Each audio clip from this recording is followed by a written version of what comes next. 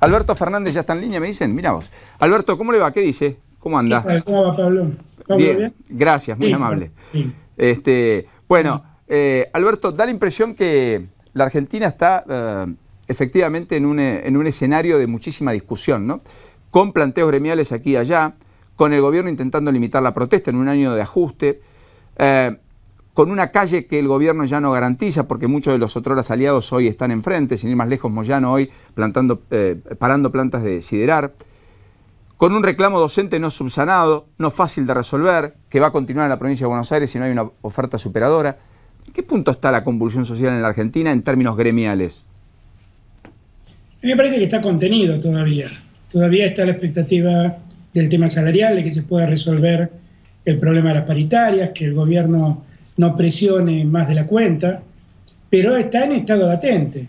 Eh, yo creo que los sindicalistas están actuando con mucha responsabilidad eh, y que el gobierno está exigiendo, me parece, más de la cuenta, porque eh, en, su idea de repentinamente organizar la economía, está aplicando lógicas absolutamente ortodoxas que generan un enorme costo, un enorme costo para, para la gente.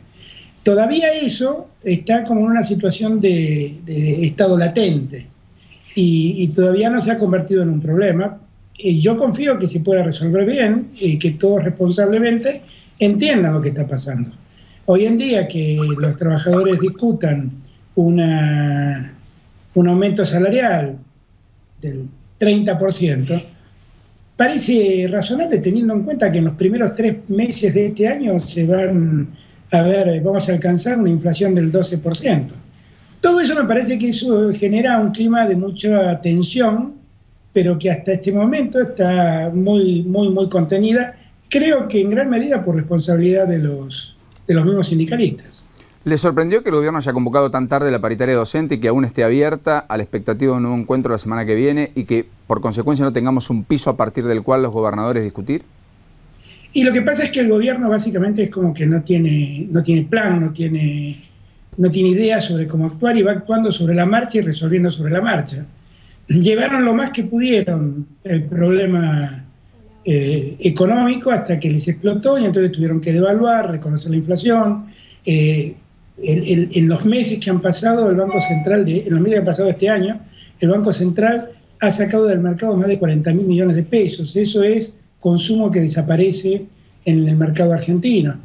Y, me parece que en esa lógica también el gobierno tensa todo lo, necesario para que nadie le ponga dinero en el bolsillo a los que trabajan, porque eso sería, en su lógica, promover el consumo y favorecer la inflación. Entonces, eh, como esa es su lógica, han llevado también el tema salarial docente hasta último momento, sabiendo que un arreglo temprano podía significar una suerte de eh, acuerdo testigo que podía aplicarse a las demás, a las demás eh, actividades. Eh, y bueno, acá están las consecuencias, los chicos sin clase y los docentes sin el salario resuelto. ¿Tiene expectativas en el jefe de gabinete el próximo miércoles en el Congreso? Me refiero a Capitanich. ¿Expectativas de qué tipo? Respecto a que pueda esclarecer, aclarar temas, eh, ahondar en alguna cuestión de política oficial. Es una práctica que además es buena, saludable, la Constitución lo, pide. A mí me parece que es poco lo que podemos esperar, pero no por, por Capitanich en sí, sino porque evidentemente hay una lógica del gobierno que dice no, no cambiemos en nada lo que estamos haciendo y no sometamos a debate de nadie lo que estamos haciendo. Capitanich empezó con un discurso que pareció atractivo al comienzo, que pareció contemplativo, con vocación de oír y de decir, eh, y se convirtió en un repetidor del discurso oficial, del que no se sale un ápice. Mm. Eh, y esto, actualmente no creo que en el Congreso haga, algo distinto, sinceramente. Zanini va a ir a dar explicaciones al Senado respecto al Código Penal. Eh, ¿Usted tiene la impresión, dentro del espacio donde hoy milita, que es el masismo, de que efectivamente es un proyecto que la oposición va a lograr eh, obstaculizar en el ámbito del Congreso, que el oficialismo va a imponer voluntades pese a las observaciones que desde distintos sectores se han manifestado? A ver, yo aquí tengo una opinión un poco personal, quiero aclararlo, eh, pero me parece que en un punto es muy coincidente con la de Sergio. Miren, el Código Penal, lo que la Argentina tiene es un enorme problema de inseguridad. Lo que Sergio está planteando es que frente al estado de inseguridad que se vive en la Argentina, eh, promover eh, un cambio en las normas penales puede hacer sentir en muchos casos una suerte de aliviamiento de la situación de los delincuentes. Eh, es cierto que en la Argentina hay una sensación de impunidad enorme. La gente siente no que el delincuente callejero no solamente no, paga por lo que hace, sino que los más grandes eh, involucrados, qué sé yo, estamos dando vuelta con el caso Vudú todavía, la gente siente que la impunidad es la regla. Y siente que un cambio en el sistema penal puede ser interpretado como más impunidad.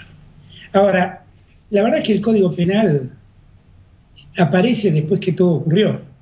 En verdad el Código Penal aparece cuando el delito se ha consumado. No aparece antes. Y lo que me parece que es donde comete el principal error el gobierno. Lo que nosotros tenemos es un enorme problema de inseguridad. Si usted me pregunta, yo estoy de acuerdo con la necesidad de recodificar las normas penales. Y además muchas de las personas que lo han hecho gozan de mi mayor respeto y del prestigio que les corresponde. Pero me parece que el gobierno equivoca el camino. Porque esto es lo mismo que si estuviéramos frente a una epidemia y la respuesta del gobierno es hacer hospitales. La verdad que está muy bien tener hospitales para atender a los contagiados, pero en verdad lo que hay que hacer es evitar el contagio. Y el gobierno en materia de seguridad ha hecho nada, lo vemos cotidianamente. Hasta el presidente de la Corte está advirtiendo de que en la Argentina ha ingresado la criminalidad organizada del narcotráfico y empieza a hacer estragos y a mellar los cimientos del Estado de Derecho. Entonces, ¿qué ha hecho el gobierno nacional con esto? Nada. Y es por ahí donde debería haber empezado. Me parece que sería muy oportuno postergar este debate del Código Penal hasta tanto se resuelva los otros problemas que tenemos y que el Código Penal no va a resolver, como no lo ha resuelto hasta aquí seamos francos, porque el Código Penal en los años de democracia han tenido infinidad de, modificaciones, generalmente con penas en aumento, y no ha resuelto el problema de la inseguridad. Porque el problema de la inseguridad exige otras cosas. Yo le pregunto, Paulino, mm. ¿qué hace el gobierno en materia de inteligencia criminal? ¿Cómo funciona la inteligencia criminal del gobierno? Que una mañana nos desayunamos que un señor que andaba en bicicleta en Palermo termina baleado y es el jefe de sicarios de, de un cartel de la droga colombiana. ¿Cómo se entiende que no haya ningún sistema de inteligencia criminal que funcione adecuadamente? Que lo detecte, ¿no? Claramente. Es central, perdón que interrumpa, mm. la inteligencia criminal es central para poder anticiparse al delito. Y acá no existe. Y no hay ninguna norma, no hay ningún plan del gobierno tendiente a instaurar una inteligencia criminal que funcione adecuadamente. Le prestan más atención a la inteligencia militar que lleva adelante Milani que a la inteligencia criminal, que es el mayor problema que tenemos los argentinos. Hubiera sido mucho mejor empezar por ahí que empezar por el Código Penal. Y me parece que, la verdad, con mucha liviandad, todos tomaron el tema sin darse cuenta que este es el mayor problema que tenemos. Y que el Código Penal que están proponiendo, objetivamente no va a resolver el problema de la inseguridad, tampoco honestamente creo que lo, lo, haga más, más difícil, pero sí estoy seguro que la gente percibe esto de un modo negativo, porque mm. siente que es la profundización de la impunidad. Lo escucho de todas maneras, este, Alberto Fernández, desde un lugar distinto al que, separa el propio Massa, usted mismo lo advertía, eh, y no con una oposición cerrada a las discusiones del código en sí, sino más bien por la oportunidad y por el sentido de la discusión en sí, del cual también participa el propio Massa, respecto a que una reforma en el sentido en el que el gobierno la pretende podría evidentemente o eventualmente eh, acelerar los tiempos de la delincuencia o generar la sensación mayor de impunidad o hacer caldo de cultivo de aquellos que efectivamente no cumplen con la ley. Sí, eh, efectivamente es así. Yo lo que siento es que claramente el gran mérito que ha tenido Sergio es el de haber eh, captado bien la preocupación ciudadana. Y en ese, desde ese lugar debo admitir que, él tiene toda la razón del mundo cuando plantea que la gente percibe esto con preocupación. Eh, y, entiendo la preocupación de la gente. Pero a mí me parece que, amén de que el código salga, no salga, se discuta después, se discuta ahora, el problema, el código no va a resolver nada, no va a resolver ninguno de los problemas que tenemos. Mm. Y lo que estoy cuestionando con toda seriedad es el sentido de oportunidad del gobierno nacional y de la política, porque la verdad es que, seamos francos también, este no es el código del gobierno nacional, es el código del gobierno nacional, del radicalismo, del PRO, del socialismo, y, sin abrir juicios sobre el contenido del código, vuelvo a repetir que me merece mucho respeto sus autores principales, eh, me parece que es un problema de oportunidad política. Básicamente ese es el tema. Y que lo que quisiera es que estemos discutiendo otras cosas, que son muy importantes, muy importantes. Me parece que, insisto, la Argentina no tiene un sistema de inteligencia criminal que funcione. No puede ser que nos pasen las cosas que estamos viendo cotidianamente. Eh, hay elecciones en el Partido Justicialista de la Ciudad el mes próximo. Usted lo tuvo como presidente en algún momento. Eh, ¿No participa? ¿No cree que el sello del PJ en la ciudad amerite una discusión válida? O sea, por lo pronto usted la va a dar por afuera. yo lo que siento, Paulino, es que el peronismo hace mucho tiempo que dejó de representar los intereses de la gente. Se ha convertido en un partido cerrado. Como suelo decir yo, se parece mucho más a, un regimiento que a un, a un partido político. Es un lugar donde no se debate, donde solo se cumplen las órdenes que imparte un general que se llama Cristina Kirchner, o una generala, le gustaría que le digan a ella, eh, pero el partido carece de todo debate. Y a mí me parece que la política es exactamente lo contrario. Es un lugar donde se contraponen ideas, donde se expresan posiciones, donde existe contradicción y donde se buscan síntesis. Nada de eso existe. Hoy en día, eh, el peronismo, el mérito ha desaparecido, lo que más se valora y lo que más se premia es la obediencia y como la verdad siempre me costó ser muy obediente de lo irracional, este, no creo que me tengan a mí de ese lado. Eh, en términos de construcción de alternativas de poder, eh, ¿el masismo será distinto? ¿O el masismo también tendrá en masa un unificador siempre de todas las posturas con disensos este, eliminados? Mire, yo creo que Sergio Massa es una enorme expectativa para la gente. Es una enorme expectativa con razón. Yo me animaría a decir que es el único de todos los candidatos posibles, que, es un, que se ha criado y se ha desarrollado una democracia. Cuando yo digo esto, muchos dirán, ¿eso qué tiene que ver? Eso tiene que ver básicamente con el hecho de que eh, Massa objetivamente tiene una posición de apertura, una posición, una posición de criterio amplio, una, una posición de una cierta flexibilidad ideológica que realmente muchos de mi generación inclusive nos cuesta tener. En él el diálogo no es una posición, no es una cuestión de postura, es una eh, cuestión que sale espontánea y naturalmente. El respeto por el que piensa distinto en él no es una imposición de la democracia ni de las formas republicanas, sino que es así como se ha criado. Mm. Es la enorme ventaja que tiene esta generación, que con todos los defectos que tiene la democracia de los 30 años que llevamos, ha permitido que se críen y se desarrollen de ese modo.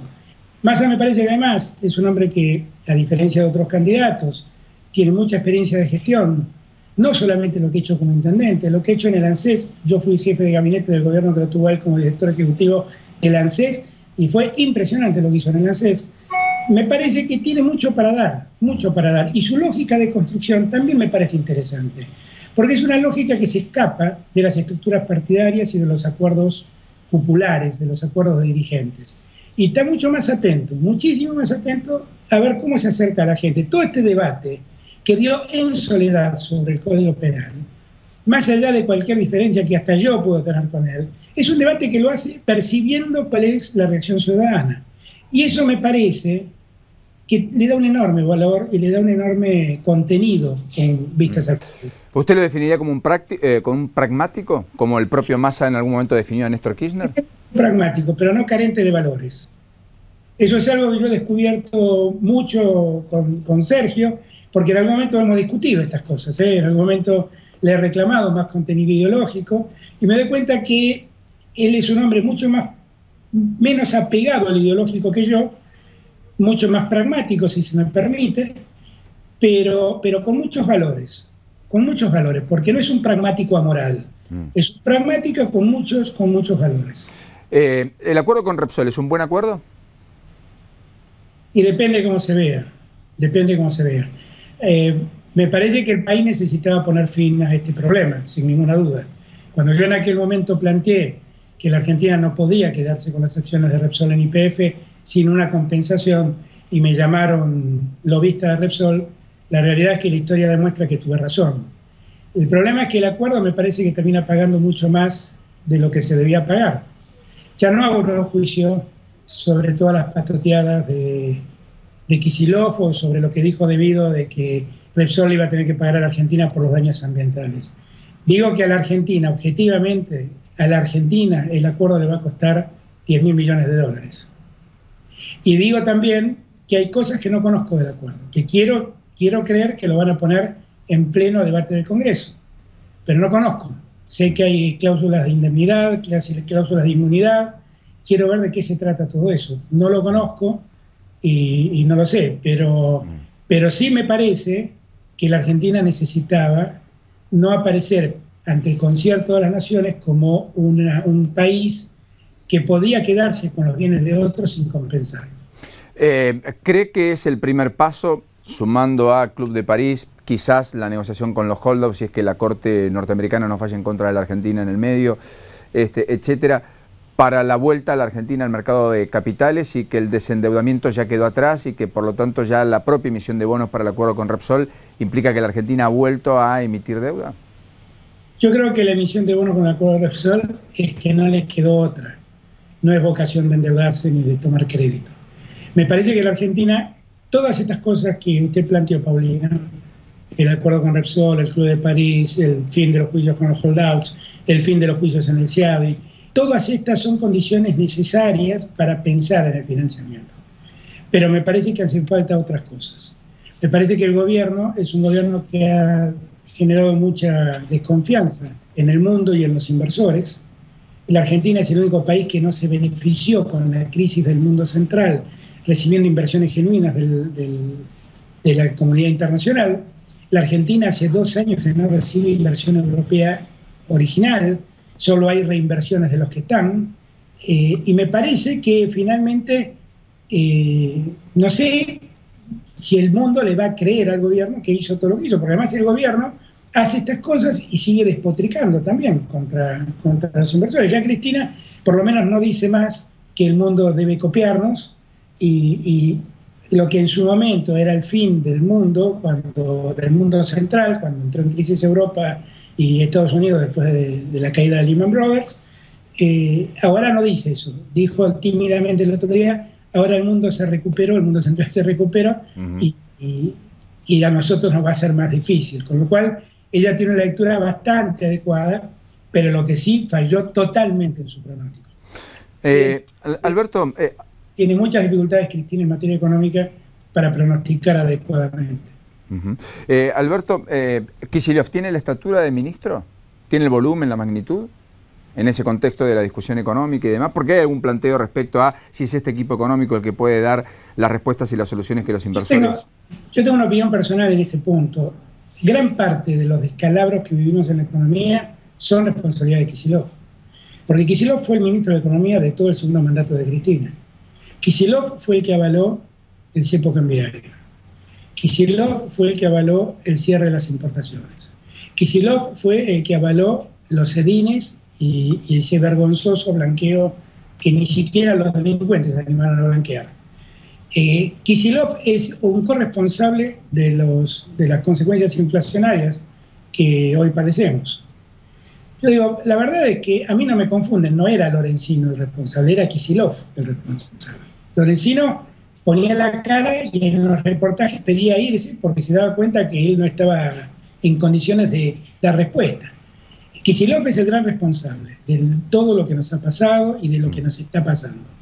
Y lo que no tengo en claro es, eh, bueno, si él está en condiciones de sacar adelante. La verdad es que si alguna vez fue marxista o si alguna vez fue keynesiano, la política que están aplicando hoy es una política muy ortodoxa que se parece mucho más a los peores ortodoxos del consenso de Washington que a lo que alguna vez planteó Keynes. Y esta es la realidad. De cualquier modo, yo creo que es mejor que hagan esto a que no hagan nada. Pero creo que hacen esto porque se dejaron estar mucho tiempo.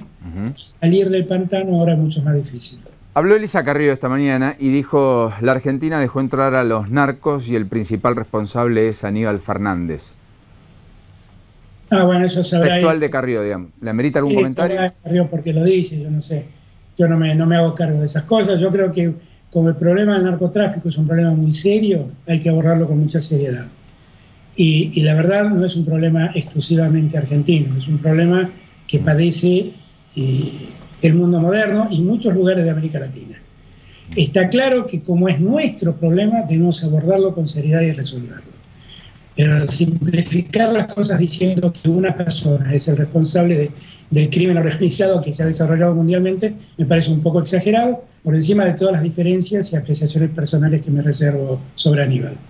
Correcto. Este, respecto a la propuesta de la presidenta de limitar la protesta social, independientemente de las circunstancias y del historial del gobierno en este, en este sentido eh, y demás, ¿es válido?